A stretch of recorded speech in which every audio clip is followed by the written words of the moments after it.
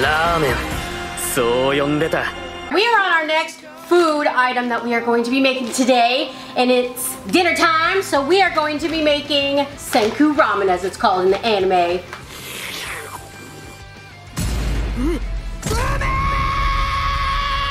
When I was looking for foxtail millet to make the ramen noodles with, I actually found foxtail millet noodles already made. Yes, it has a little bit mix of other flours in it, but it says foxtail millet right there, so we're going to be using these. I will not be using the sauce packet in it.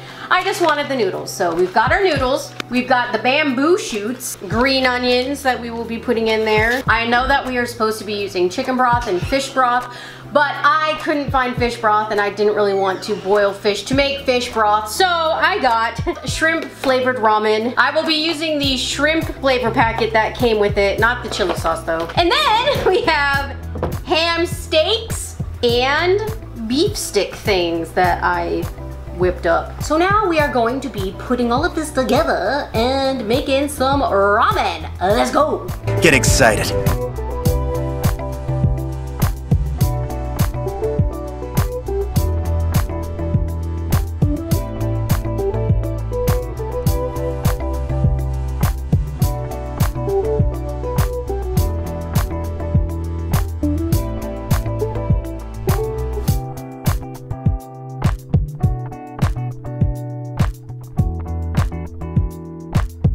It is now time to assemble our Senku ramen.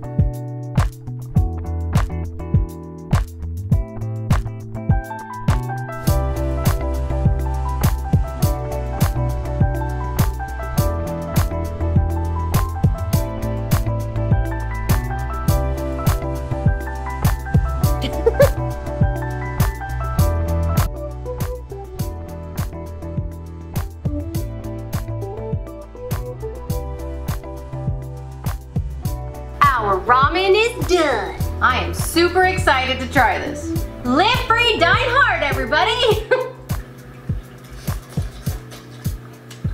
My glass is fogged up.